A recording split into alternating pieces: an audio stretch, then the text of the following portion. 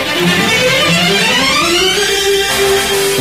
milhão de votos. Wilson Lima é o governador mais votado da história do Amazonas. Após vitória, Bolsonaro afirma que seu governo trabalhará verdadeiramente para todos os brasileiros e já confirma astronauta e mais três ministros do futuro governo. Brasil precisa de governo de paz e harmonia, diz Temer em telefonema para Bolsonaro. Filho do presidente eleito diz que Lula terá companhia para jogar dominó na cadeia. Eduardo Bolsonaro afirma que Lindbergh e Faria Zedade estão a caminho. Imprensa internacional repercute a vitória de Bolsonaro na eleição presidencial. A bruxa do ar volta a atacar. Avião cai na Indonésia 13 minutos após decolar em Jakarta. Boeing 737 levava 178 adultos, uma criança e dois bebês, dois pilotos e cinco tripulantes. Mulher é assassinada com 24 facadas em motel na André Araújo. Dupla é morta após ser perseguida por motoqueiros fantasmas no Tancredo Neves. Homem é crivado de balas no centro da cidade. É o Jornal da Manhã que está começando. 5 horas e 49 minutos em Manaus. Se é manchete, se é manchete, você ouve aqui. Jornal da Manhã, Rádio Difusora. Previsão do tempo. Com alguma nebulosidade, Manaus amanhece com 25 graus de temperatura e a máxima prevista é de 34 graus Celsius. O clima tempo diz que é de 80% a probabilidade de chover 5 milímetros. A umidade do ar é de 89%. Os ventos estão calmos com 4 quilômetros hora de velocidade. É segunda-feira, 29 de outubro. Chegamos aos 392 dias do ano e faltam 63 para terminar 2018. Dia de São Petrônio. Também o Dia Mundial da Psoríase e o Dia Nacional do Livro. Na semana que passou, até a sexta-feira, o Rio Negro desceu 66 centímetros. Seu nível em relação ao mar estava em 18 metros e 11 centímetros. Essa leitura será atualizada daqui a pouco. O Aeroporto Internacional Eduardo Gomes operou sem restrições para pousos e, decolagem, e decolagens durante toda esta madrugada. Datas e fatos. Registros da história. 1840 terminou o bloqueio francês do Rio da Prata. 1945 Estado Novo. O presidente Getúlio Vargas é deposto por militares de seu próprio ministério. 1956, início da Guerra do Suez. Israel invade a península do Sinai e força as tropas do Egito para o outro lado do canal de Suez. 1978, todos os serviços de passageiros remanescentes da Canadian Pacific Railway são transferidos para a Via Rail. 2004, Osama Bin Laden admite a sua ligação direta com os ataques de 11 de setembro de 2001. Em 2013, inauguração do túnel ferroviário submarino sobre o Estreito de Bósforo, ligando as partes europeia e asiática de Istambul. Agora 5 horas e 51 minutos em Manaus. Sejam todos bem-vindos ao Jornal da Manhã. Bom dia, Eduardo. Bom dia, Paulo. Um apartamento no sétimo andar de uma das torres do condomínio Mundi Resort, na Avenida Efigênio Salles, no Aleixo, foi destruído em um incêndio ontem à noite. Segundo moradores do Monte, um rojão atingiu o imóvel e foi a causa do fogo. Os proprietários do apartamento atingido não estavam no local no momento do incêndio. Duas viaturas do Corpo de Bombeiros Militar do Amazonas foram acionadas por volta das 19 horas para atender a ocorrência. O apartamento ficou totalmente destruído. Alberto Peregrino, o pânico foi muito grande naquela área. Bom dia. Bom dia, bom dia Paulo Guerra, bom dia ouvintes do Jornal da Manhã. Foi muito pânico, Paulo Guerra, fogo num prédio, geralmente deixam as pessoas em pânico, mas graças ao bom trabalho do bombeiro, que chegou rapidamente ao local, fez um grande trabalho e não deixou que o fogo se espalhasse. É, mas os moradores lá do condomínio ficaram em pânico com o fogo e foi um rojão, não é, Pellegrini, que atingiu o imóvel. É, mas mais uma vez, né, Paulo, Paulo essas coisas de, de fogos, essas uh, sempre trazem prejuízo às pessoas, né? Agora a gente não esperava que acontecesse isso num condomínio, isso acontece mais uh, em bairros, uh, principalmente da zona norte e leste, quando o fogo, né, de rojões acabam atingindo as casas. Principalmente as de madeira. Né? A movimentação foi grande na cidade ontem em função das eleições. Peregrino, eu te pergunto, os prontos-socorros da cidade, muito trabalho Olha, Paulo, por incrível que possa parecer, não. Ficou no número daqueles já que nós já conhecemos aí do que ocorre no final de semana, de muita movimentação, assim, mas aquilo que já vem acontecendo todo final de semana. Não teve uma subida no número de atendimentos, as pessoas aí comemoravam as vitórias de seus candidatos, mas sem muita violência, Paulo. Ainda bem, Peregrini, e, e o que a gente observa e você ontem até falava sobre isso, são, eram os ônibus que transporte de graça dia de eleição, o pessoal aproveita e vai tomar banho na Ponta Negra. Parece até que ali tinha muitas zonas eleitorais, não é, Pelegrini?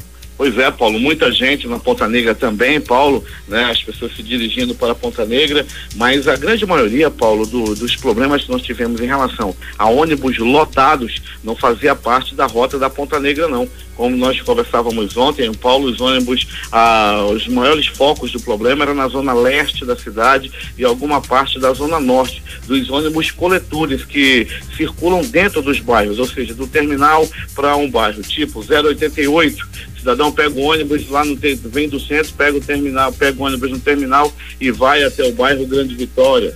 081, o cara desce do ônibus que vem do centro, pega o 0, 081, aí vai para o bairro Zumbi dos Palmares e assim sucessivamente, Paulo. E esses ônibus, principalmente os coletores, foram que deram mais problemas eh, dentro dos bairros da cidade. Essa numeração de linhas de ônibus, Pelegrini, um, um tempo desse aí, uns, uns, uns, anos atrás, me indicaram, eu, eu quero pegar um ônibus para ir para lugar tal. Você pega o 220 e solta, pega o 300 não sei o que, e depois pega o outro 630. Eu, eu, eu, eu respondi que eu não fui ser engenheiro porque eu sou ruim de matemática. Imagina só eu ter que decorar esses números todinhos dessas linhas, não, Peregrini?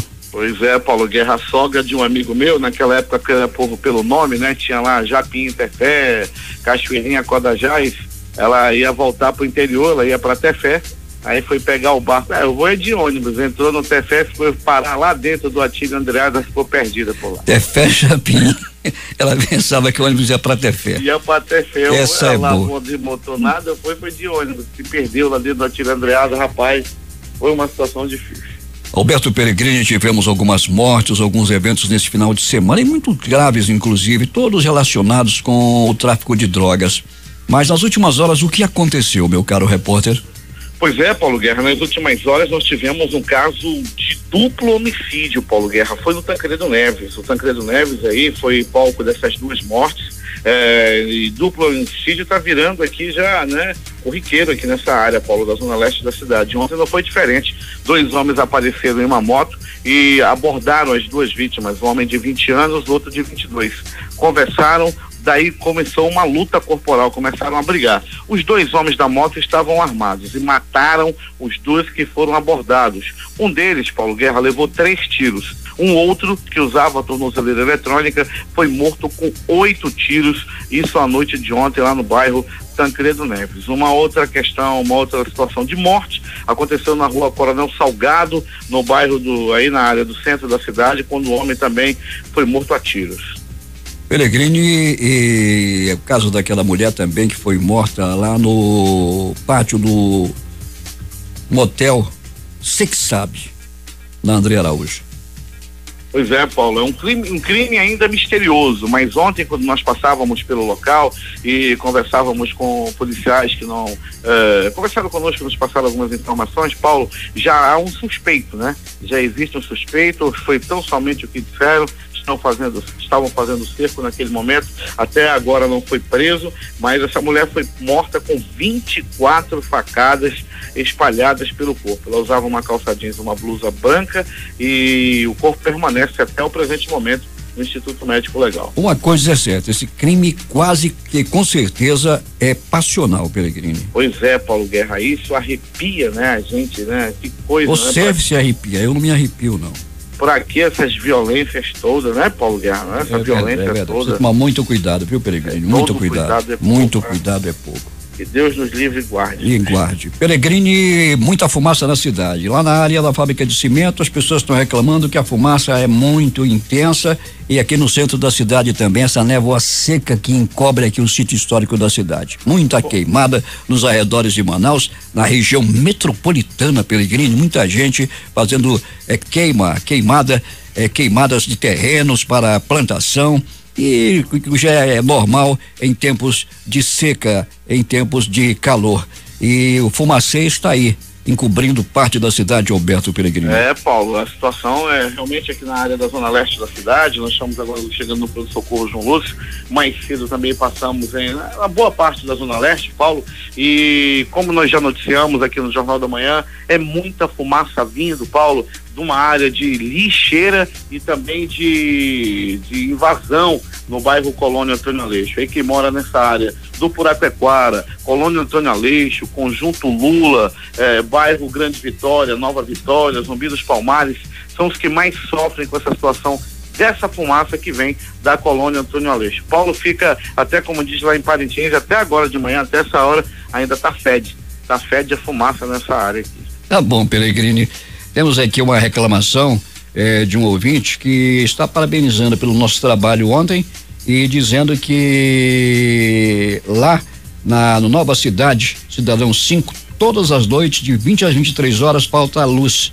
Provavelmente, diz ele, pode acontecer por um desvio de energia na invasão lá no cemitério dos. No cemitério. É invasão no cemitério dos índios, Peregrino, existe isso? Existe, existe, Paulo. Fica ali na Avenida Curação lá do, do, do, bairro Nova Cidade, essa fica bem do lado dali daquela invasão, Paulo, onde encontraram o corpo daquele policial, do policial Portilho. É uma gigantesca eh, invasão, Paulo, que está nascendo. Essa invasão, ela emenda com a do conjunto Viver Melhor. Você imagina a dimensão que tem isso. Eu preciso descobrir é... quem banca essa invasão, né, Pelegrino? Pois é, Paulo Guerra. Tem, tem, tem negócio de um, de um patrocínio, com certeza, Paulo. É tijolo, é telha, e o pessoal fica chegando lá toda hora, são incentivados a ficar nesses lugares. Já tenho informação também, Paulo, que essa luz que é puxada para dentro dessas invasões, é, lá dentro, quando chega essa, essa, esse, esse, gato, né, é puxado por pessoas que são ligadas ao tráfico de drogas.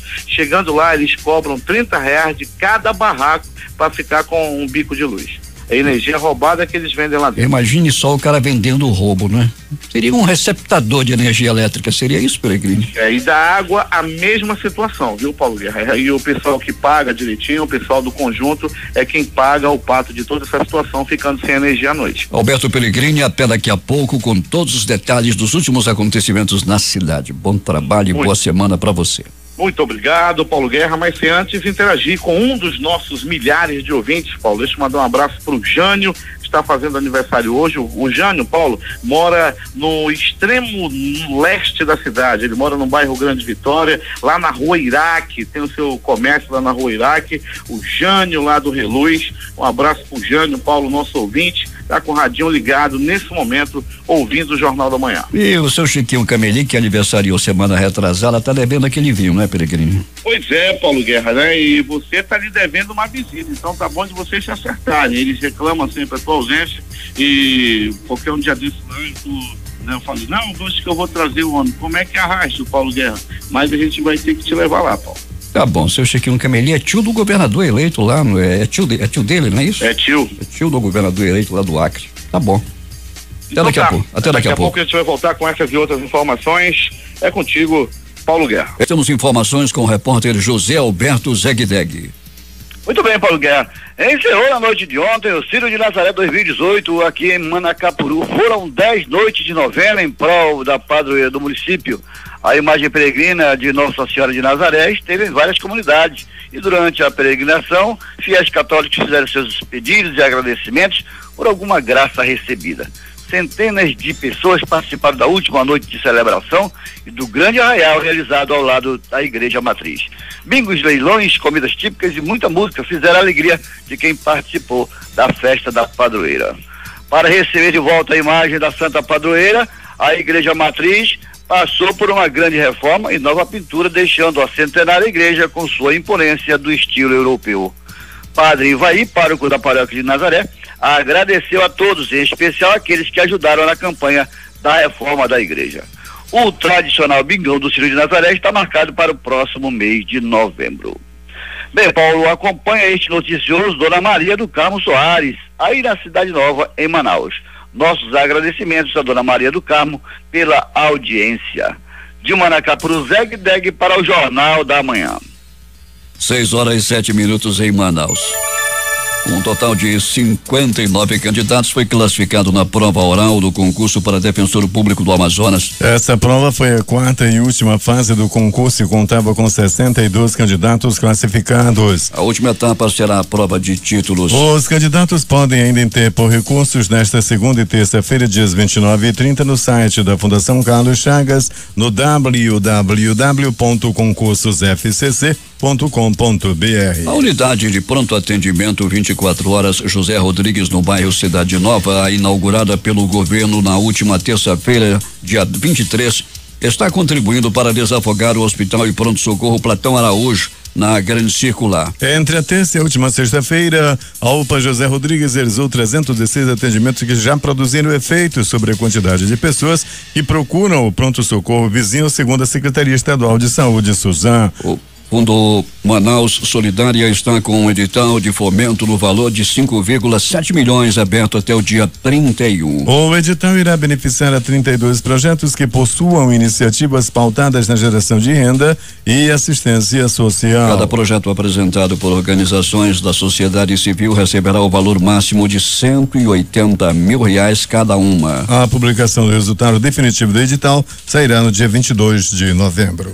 A 13 terceira Semana Nacional de Conciliação será realizada entre 5 e 9 de novembro em todo o país. A campanha em prol da conciliação, promovida anualmente pelo Conselho Nacional de Justiça, o CNJ, desde 2006, envolve os tribunais de justiça, tribunais do trabalho e tribunais federais. O Tribunal Regional do Trabalho da 11 primeira região, que compreende Amazonas e Roraima, também participará da Semana Nacional de Conciliação que tem o objetivo de encontrar, por meio de acordo, solução definitiva para os litígios com a participação direta das partes na solução das ações. No TRT-11, os interessados em participar devem preencher um formulário online disponível no site do tribunal no www.trt11.jus.br informando o número do processo, os nomes do reclamante e do reclamado e dados para contato. As inscrições já podem ser feitas e só até esta segunda-feira. Agora 6 horas 10 minutos em Manaus. O atual prefeito interino de Anamã, Chico do Belo, do PMN, foi reconduzido ao cargo neste domingo após votação suplementar que aconteceu paralela às eleições para governador do estado e presidente da República. O prefeito reeleito recebeu 3.405 votos, ou 56,16%.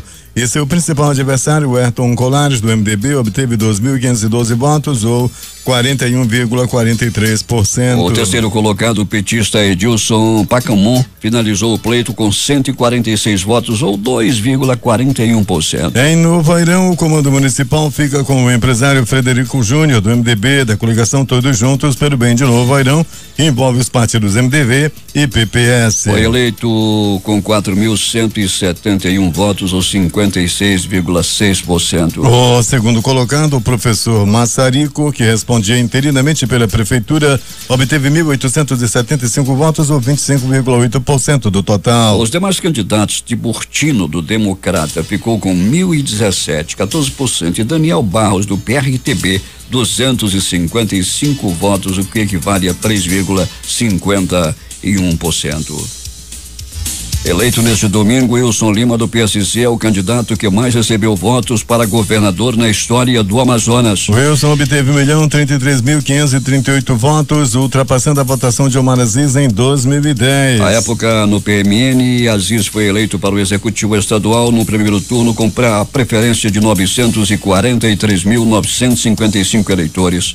Após a eleição, ele falou ao Jornal da Manhã e ao repórter Alberto Pellegrini.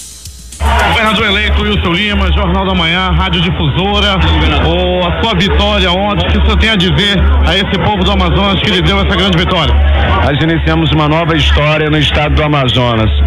O que começa aqui é uma nova ideia, é uma chama. Nós chegamos aqui com a força do cidadão. A minha presença aqui é a, a prova da força popular. Aqui nós não tivemos ajuda de máquina estatal, de grupos econômicos ou de outras forças. No primeiro turno, a nossa composição, como foi pequena, tínhamos apenas 25 segundos no rádio e também na televisão. Essa é a prova de que o cidadão já não aguenta mais a velha política, já não aguenta mais de tanta corrupção corrupção. Nosso compromisso é melhorar a vida do cidadão. Nós temos a independência necessária para é, montar uma equipe técnica, uma equipe qualificada e uma equipe altamente comprometida para fazer as mudanças efetivas que o governo do estado do Amazonas precisa. E essa população que lhe deu essa vitória bonita, o que espera do governador Wilson Lima? Eu sou um homem que, assim como o pessoal aqui da emissora, acorda muito cedo, dorme tarde e aqui todo o meu empenho, o meu comprometimento em proteger esse legado do estado do Amazonas, que inicia uma nova história. O que a gente está fazendo, o que o povo do Amazonas está fazendo, é algo inédito. E eu me sinto muito honrado de ter é, participação efetiva nesse processo e de ser um dos comandantes desse novo momento. Obrigado, governador. Portanto, ouvimos no Jornal da Manhã, Paulo Guerra, o governador eleito Wilson Lima. Paulo Guerra. 6 horas e 13 minutos em Manaus. Amazonino Mendes, do PDT, após a derrota no segundo turno das eleições para o governo do estado, se pronunciou oficialmente por meio de um vídeo compartilhado em redes sociais. Em seu discurso, ele agradeceu os votos e desejou sabedoria e equilíbrio ao Wilson Lima. Amazonenses, tendo cumprido com meu dever e honrado pelo governo que vocês lideram de um ano para tentar, como se falava, arrumar a casa. Consciente desse dever cumprido e profundamente agradecido por esse gesto magnânimo do povo amazonense para comigo pela quarta vez. Neste estado, neste momento exato em que se toma conhecimento da vitória do meu adversário, apresso-me a reiterar os meus agradecimentos a todos aqueles que ainda assim persistiram em honrar o meu nome. Abraçar todos os amazonenses de modo geral e desejar a maior felicidade possível para este povo. E, ao mesmo tempo, dizer que a, a minha, da minha sensação de dever cumprido, tranquilo, mesmo amazonino, e desejar a você, Wilson, que ganhou sabedoria, inteligência, equilíbrio e que Deus lhe ilumine e lhe abençoe na sua jornada a prol e do bem do povo do Amazonas. Um abraço a todos. Mais uma vez, muito obrigado. 6 horas e 15 minutos, ouvimos aí o Wilson Lima, que foi eleito governador do estado, e o Amazonino Mendes, que continua governador do estado e que fez os seus agradecimentos e também desejou sorte ao governador que acaba de ser eleito. Polícia. Polícia. O que aconteceu na noite, madrugada na cidade e um balanço dos acontecimentos do final de semana. Mas antes eu pergunto ao Alberto Peregrini, como está o transporte coletivo nesse instante em Manaus, Peregrini? Tranquilo, Paulo. Nós já passamos nas principais garagens do transporte, as garagens, né, do transporte coletivo da cidade, como a Eucatu e a Global, Paulo, e nós podemos afirmar que a saída dos coletivos para os terminais nesse momento dá-se de maneira tranquila. Na Global passei agora há pouco, Paulo Guerra conversava com os motoristas e cobradores, tudo tranquilo, salário em dias e o trabalho também ocorrendo de maneira tranquila nesse momento. O que eles reclamavam muito também, Paulo, é que a Zona Leste, nesse momento, tá dific... temos dificuldade até mesmo para dirigir, Paulo. A fumaça baixou muito, é um fedor, um mau cheiro terrível em toda a Zona Leste da cidade, as pessoas tossindo com a fumaça que está né, dominando aqui essa área da cidade. É quase toda a cidade, Peregrino, encoberta pela fumaça. Essa névoa seca que encobre a cidade inteira aí são as queimadas que acontecem aí no entorno de Manaus e outras regiões mais distantes também. Peregrine, vamos às informações. Então vamos, Paulo, vamos começar pelo pronto-socorro 28 de agosto. No pronto-socorro 28 de agosto, uma pessoa deu uma entrada ferida a faca, levou facadas na área do bairro do Bariri, ali nas proximidades, entre Bar Bariri e Matinha. O negócio não tá fácil, o pessoal tá se matando direto por lá. E ontem, uma pessoa levou facada e deu entrada no pronto-socorro, no pronto-socorro 28 de agosto. Paulo Guerra e o ouvintes do Jornal da Manhã. Um triângulo amoroso por pouco não acaba em tragédia. Dois homens brigaram pelo amor da mesma mulher no bairro de Cachoeirinha. O pau comeu, foi muita lapada. Quando um estava perdendo para o outro, conseguiu encontrar um pedaço de vergalhão e deu-lhe na cabeça do seu oponente, que lhe rachou as sobrancelhas, também conhecida aqui como né, os cílios. Bateu aqui nessa área e acabou é, sangrando bastante. Ele deu entrada também no pronto-socorro 28 de agosto. No 28 de agosto também deram entrada duas pessoas vítimas de acidente de trânsito. Um homem que foi atropelado teve ferimentos leves na Castelo Branco foi levado ao 28 de agosto. Pronto Socorro João Lúcio, o gigante da zona leste da cidade. No Pronto Socorro João Lúcio, movimentação agitada, principalmente de sábado para domingo. Muita gente que acabou eh, bebendo demais, se excedendo, se envolvendo em briga e essa briga por muito pouco, brigas por muito pouco não acaba, não acabaram em morte. Uma pessoa jogando sinuca sinuca, se desentendeu com seu adversário e levou-lhe uma bolada de sinuca na testa. A bola caiu ou não caiu? Tocou ou não tocou na bola do outro? Daí começou a discussão e um deles pegou a bola de número 7, pegou a bola, Paulo Guerra, e não nem ameaçou, jogou logo de uma vez. Pegou na testa, que o oponente caiu na hora. Levado ao pronto-socorro João Lúcio, ele chegou lá ainda desmaiado. O monstro do Galo na cabeça, no besta do Galo, na cabeça desse homem que deu entrada lá no João Lúcio, depois foi medicado, passou por tomografia e disse aos enfermeiros e enfermeiras que nunca mais vai jogar sinuca. Isso aconteceu, Paulo Guerra, em um bar no bairro Zumbi dos Palmares. olha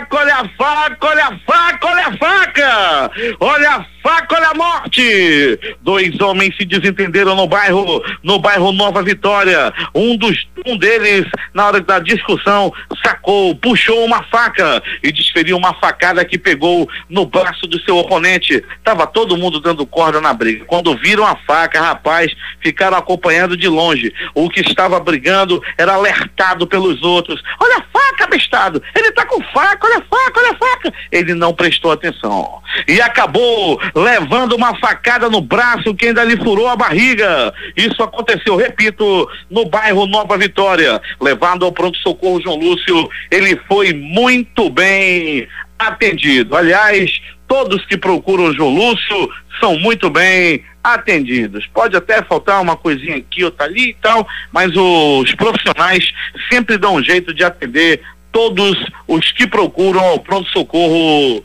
João Lúcio. Pronto Socorro Platão Araújo. Este localizado no coração da zona leste da cidade. Movimentação intensa no Pronto Socorro Platão Araújo. Uma pessoa deu entrada vítima de atropelamento. Foi atropelamento, foi atropelado, melhor dizendo, no bairro Cidade de Deus. O homem vinha em alta velocidade e acabou acertando o pedestre. Os dois, o motoqueiro e o atropelado foram levados ao pronto-socorro Platão Araújo, onde também foram muito bem atendidos. Agressão física. Um homem deu entrada no pronto-socorro Platão Araújo com vários hematomas pelo corpo. Ele chegou no pronto-socorro Platão Araújo é, em um carro, foi, o carro deixou ele lá e foi embora. Ele mal conseguia andar com o rosto deformado, com a costa cheia de hematomas, barriga e costela cheia de hematomas, ele dava entrada. Perguntaram o que era, ele não queria dizer, estava todo desconfiado por ali. Aí ele me foi brigar, não, fui brigar ali com dois camaradas e tal, o outro se meteu, eu tive que brigar com dois. Passado o tempo, atende por ali e tal, chegou a informação, ele havia sido agredido pela sua própria companheira. Isso aconteceu, Paulo Guerra E ouvintes do Jornal da Manhã, na área do conjunto Canaranas. Ele apanhou da própria companheira, rapaz, mas ela sabia bater. Ele estava completamente todo cheio de hematomas e estava com vergonha de que apanha dizer de dizer que apanha da mulher. Fica com vergonha não, mano. Tem muitos por aí. A grande maioria desses valentões acabam apanhando das mulheres. É valentão e tal, quando chega perto da mulher, todo pianinho. Isso tem demais. Tá cheio de cabrão na cidade. Mas Paulo Guerra e ouvinte do Jornal da Manhã, um homem deu entrada, vítima de uma lapada de teçado. Ele levou uma lapada de teçado nas costas e outros tipos de agressão. Ele apanhou muito e por fim deram uma lapada de teçado nas costas dele. As informações dão conta de que se tratava de uma briga entre familiares. Se reuniram para comer no, no domingo e depois começaram a beber. Por fim, acabou com essa briga e o homem não foi cortado, não. Ele pegou uma lambada, o cara deu com a costa do teçado que ficou o desenho do teçado nas costas dele. Parecia aquele, aquela camisa do Vasco aquela lapada no meio, ficou aquela marca, sabe, Paulo? E ouvintes do Jornal da Manhã, numa briga entre familiares. Rapaz, quando família se reúne e tem cachaça, é danado para ter esse tipo de confusão. E ontem não foi diferente, uma briga que envolveu cunhado, genro, sogro, irmão, uma briga generalizada aconteceu no bairro Jorge Teixeira, numa reunião familiar que era para ser aí de muita paz, acabou a, na, no teçado devido a uma discussão. Há quem diga que a comida também era pouca. E onde falta comida, a peia come. O negócio é bem diferente, né? Eu, é, com peia aí e tal, não sei o quê, mas acabou levando aí uma lambada de teçado na costa.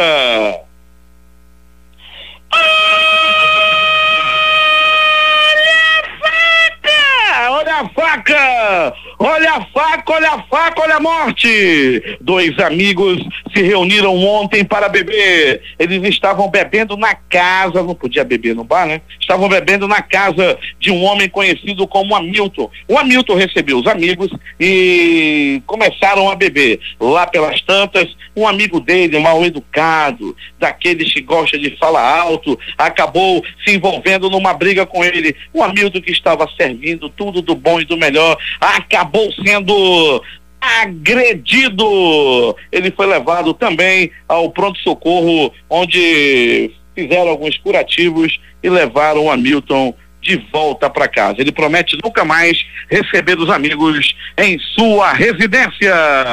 Ainda do pronto-socorro Platão Araújo, dois homens se envolveram em um acidente de trânsito. Paulo Guerra, um vendedor de suco e salgado, estava trafegando em sua bicicleta, quando de repente foi atingido por uma outra bicicleta na Avenida Itaúba, no bairro Jorge Teixeira. Era salgado e suco espalhado pela rua. Rapaz, os dois começaram a se desentender e o vendedor de frutas tinha um porrete amarrado na bicicleta e deu-lhe duas lapadas, duas pauladas no outro desajeitado que deu entrada no pronto-socorro Platão Araújo. Rapaz, o negócio não tá bom ali pelo, pela banda da Itaúba, não. O salgado que caiu no chão foi todo recolhido e comido por populares que se apresentavam, que chegavam lá perto. As coxinhas, os crocretes, os enroladinhos de salsicha, mesmo melados na areia, foram consumidos por populares que chegaram para ver a briga. O negócio não tá bom não, tá feio lá pro lado da Avenida Itaúba, até salgado do chão o pessoal tá comendo. Agora, as notícias do Instituto Médico Legal.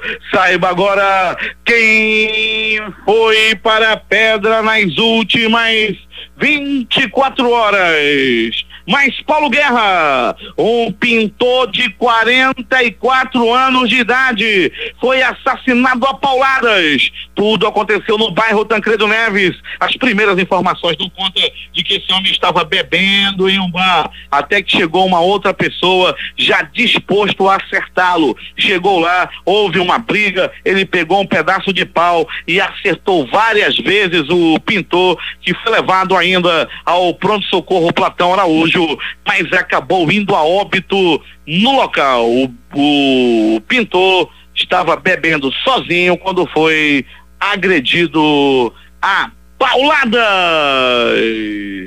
Mas Paulo Guerra e ouvintes do Jornal da Manhã, outra morte por violência, outra morte com característica de acerto de contas. Um homem morreu na área do centro da cidade. E tudo aconteceu assim.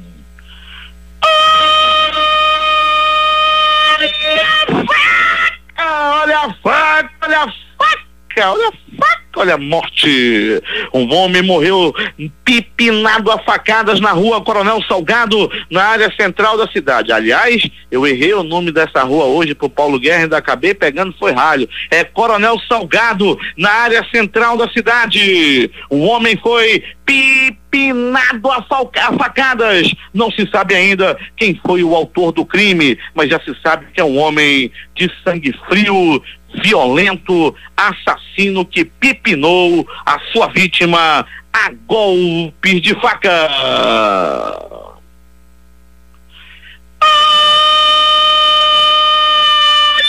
faca! Olha a faca, olha a faca, olha a faca, olha a morte! Um crime misterioso aconteceu ontem por volta de 17 horas em um motel localizado na Avenida André Araújo. Uma mulher, uma mulher foi pipinada a facadas. Ela estava nas dependências na área externa desse motel. Ela levou 24 facadas. O assassino fugiu sem ser identificado. A polícia afirma que já tem um suspeito, uma ou uma suspeita desse crime que aconteceu nas proximidades do motel, nas proximidades não, nas dependências do motel você que sabe, é capaz de aparecer visagem na hora do amor dentro desse estabelecimento desse estabelecimento de desfrutes.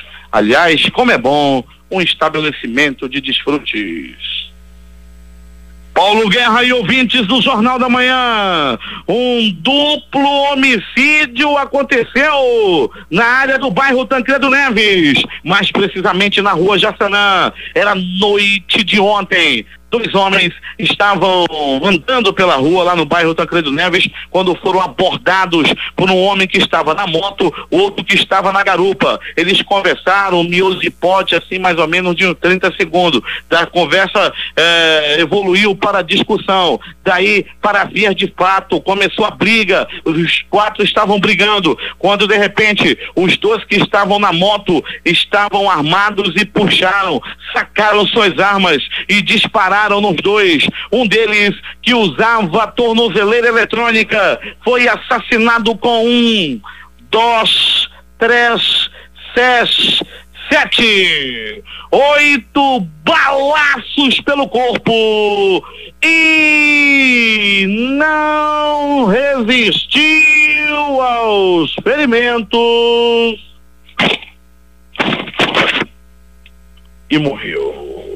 O outro de 20 anos de idade, que recebeu também três balaços, acabou morrendo nessa mesma situação, nessa mesma ocorrência que foi, que deu-se lá no bairro Tancredo Neves. Era noite de ontem. O Instituto Médico Legal. Realizou nas últimas 24 horas 52 52 exames de corpo de delito. E essas foram as notícias da noite e madrugada. Sem antes, Paulo Guerra, uma utilidade pública. O senhor Paulo, Paulo da Silva Ferreira Gomes, 64 anos de idade, está chegou até a nossa unidade externa do Jornal da Manhã e perguntou: Pelegrini, eu preciso de um favor. Peça eh, para fale no rádio para dona Sandra, que é a esposa dele, que saiu para votar no dia de ontem e até o presente momento ainda não voltou para casa. Dona Sandra, a senhora já deve ter confirmado. Volte para casa que o seu marido está à espera. É contigo, Paulo Guerra. Pelegrini, ontem à noite, começo de, da madrugada de hoje, um posto de gasolina e o posto do INSS na Cidade Nova, na, eh, na Noel Núteos, foi, foram assaltados. Três bandidos fortemente armados invadiram o posto de gasolina e o prédio do INSS, onde passaram cerca de quatro horas, imaginem vocês. Levaram um televisor, uma CPU e as câmeras de monitoramento, Alberto Peregrino. Só isso que eles fizeram. Pois é, Paulo Guerra, com a palavra, os profissionais do CPA norte da cidade. Camarada passar quatro horas dentro de uma agenda, numa da sede lá do INSS e ninguém vê, né, Paulo Guerra, é preciso estudar esse caso. A polícia precisa agir mais fortemente nessa área da cidade.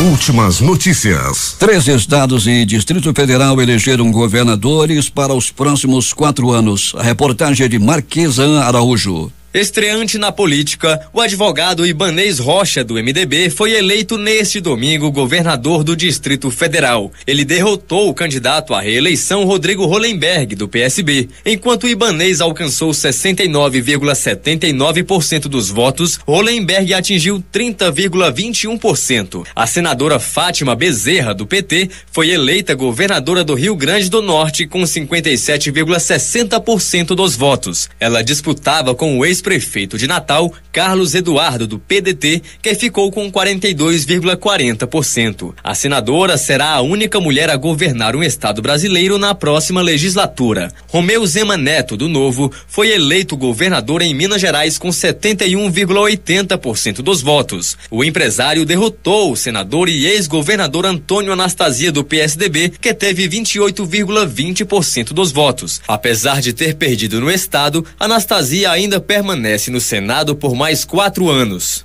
Em Santa Catarina, o governador eleito foi o comandante Moisés do PSL. Essa foi a primeira disputa eleitoral dele. Moisés conseguiu 71,09% dos votos e derrotou Gelson Merizio do PSD, que recebeu 28,91% dos votos. Merizio foi presidente da Assembleia Legislativa Catarinense de 2010 a 2016. Belivaldo Chagas do PSD foi eleito governador de Sergipe com 64,72% a disputa do segundo turno das eleições foi contra Valadares Filho, do PSB, que teve 35,28% dos votos. Belivaldo tem 58 anos e é natural de Simão Dias. Defensor público aposentado, ele exerceu o cargo de vice-governador do estado por dois mandatos. Valdez Góes, do PDT, continua como governador do Amapá por mais quatro anos. O candidato foi reeleito no segundo turno com 52,35% da preferência do eleitorado. A disputa foi contra o candidato CAP do PSB, que teve 47,65% dos votos. Valdez vai assumir o quarto mandato como chefe do executivo estadual. Em primeira disputa eleitoral, Wilson Witzel, do PSC, foi eleito governador do Rio de Janeiro. A disputa foi ganha em cima do ex-prefeito da capital fluminense, Eduardo Paes do DEM. O resultado ficou 59,87% a 40,13%. Witzel passou boa parte do primeiro turno com menos de 5% das intenções de voto. No entanto, se manteve à frente durante o segundo turno. João Dória, do PSDB, ganhou a disputa ao governo do estado de São Paulo contra Márcio França, do PSB, que tentava a reeleição. Dória é ex-prefeito da capital paulista e agora vai assumir o executivo estadual pelos próximos quatro anos. O resultado das urnas apontou Dória com 51,75% dos votos e França com 48,25%. Já no Mato Grosso do Sul, o atual governador Reinaldo Azambuja, do PSDB, foi reeleito neste domingo com 50 52,35% dos votos, desde o primeiro turno que a Zambu já assumia a liderança das intenções de voto. O adversário derrotado foi juiz Odilon, do PDT, que terminou a disputa com 47,65% dos votos. Em Rondônia, o governador eleito foi o coronel Marcos Rocha, do PSL, com 66,34% dos votos. Segundo colocado na disputa do primeiro turno, ele superou os votos de Expedito Júnior, do PSDB, derrotado no segundo turno das eleições, com 33,66% dos votos. Wilson Lima, do PSC, foi eleito o novo governador do Amazonas com 58,50%. Ele derrotou Amazonino Mendes, do PDT, que tentava a reeleição e ficou com 41,50% dos votos. Wilson Lima, que é jornalista, saiu do PR e filiou-se ao PSC em março deste ano. Eduardo Leite será o novo governador do Rio Grande do Sul. Ele foi eleito neste domingo após vencer José Ivo Sartori do MDB. Eduardo, que teve 53,62% dos votos, disse que vai ser merecedor da confiança dos que votaram nele. Sartori, que atingiu 46,38% dos votos, disse que o povo gaúcho entendeu que a mudança precisava de renovação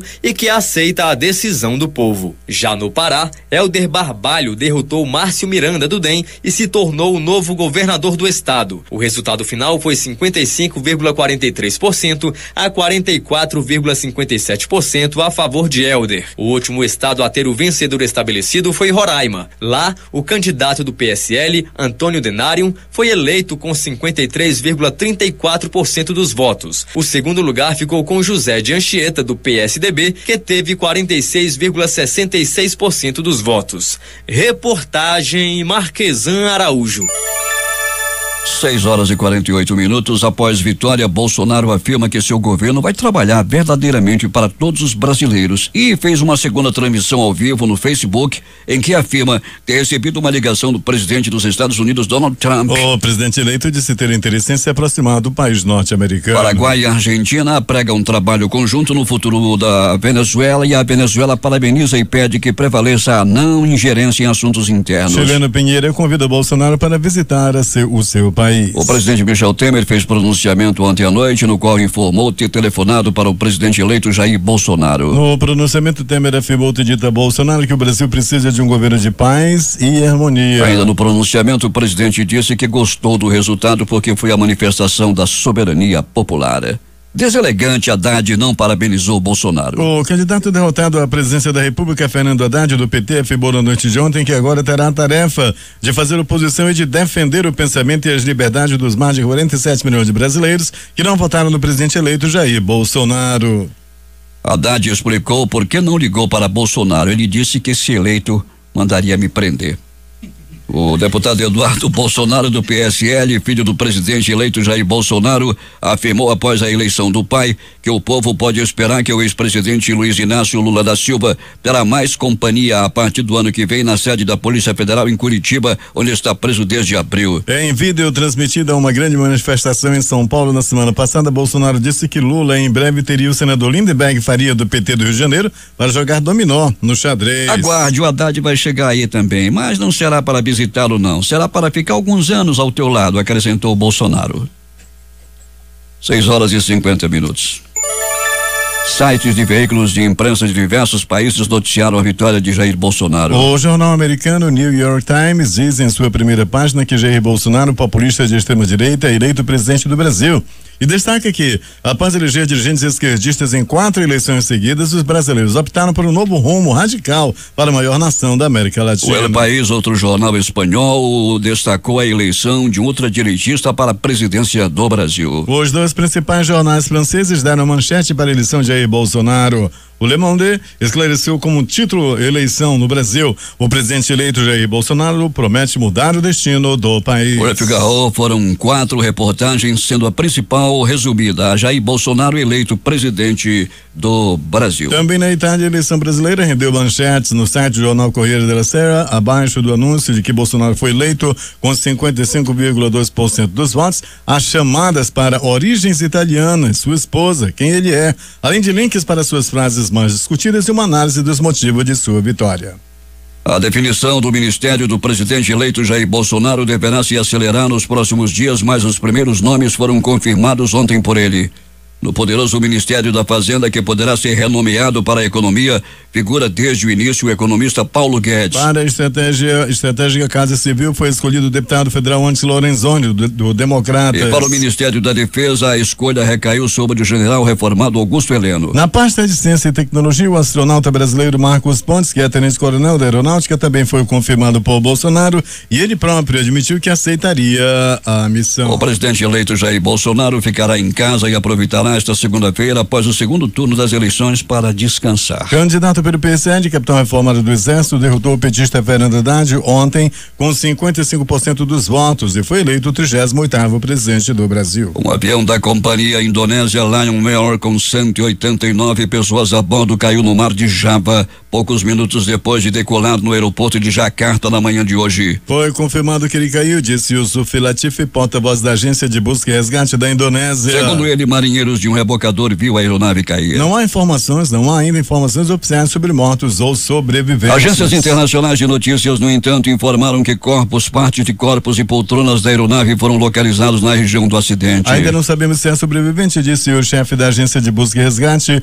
Mohamed Siaoji, em entrevista coletiva. Esperamos, oramos, mas não podemos confirmar. O avião transportava 179 passageiros adultos, uma criança, dois bebês, dois pilotos e cinco tripulantes, disse Sindu Hahayu, diretor-geral da Aviação Civil do Ministério dos Transportes. O comandante solicitou voltar ao aeroporto de Jakarta antes de desaparecer dos radares, acrescentou. O avião da companhia é um Boeing 737 MAX 8, um modelo relativamente recente. De acordo com o site Flight Radar 24, a aeronave foi entregue à Lion Air em agosto deste ano. O voo de prefixo JT 610 para a rota Jakarta Pancao Pinang, que duraria pouco mais de uma hora. Segundo o funcionário da companhia aérea, Nur Anji, citado pela BBC, ele decolou às 6 horas e 20 minutos. O último contato aconteceu às 6 e 33 13 minutos depois. 6 horas e 53 minutos em Manaus. Os principais jornais do país estampam hoje em matérias de capa o Globo do Rio de Janeiro. Eleito Bolsonaro promete defender a democracia e a Constituição. O, no Planalto Central, na capital da República, o Correio Brasiliense. Ibanez Rocha, do MDB, é eleito novo governador do Distrito Federal. Estado de Minas. Romeu Zema, novo, é eleito governador de Minas. Zero hora Porto Alegre. Eduardo Leite é eleito governador do Rio Grande do Sul. Ele é o mais jovem governador do país. Edições impressas locais, excepcionalmente hoje nas bancas do Jornal do Comércio. Bolsonaro e Wilson Lima são eleitos no Brasil e no Amazonas. A crítica. O Brasil e o Amazonas decidiram virar a página. Termina aqui o Jornal da Manhã. Participaram desta edição reportagens Marquesan Araújo, José Alberto Zegdeg e Alberto Pellegrini. Operação de áudio Hernandes Sampaio e Hamilton Cabral. A apresentação Eduardo Silva e Paulo Guerra.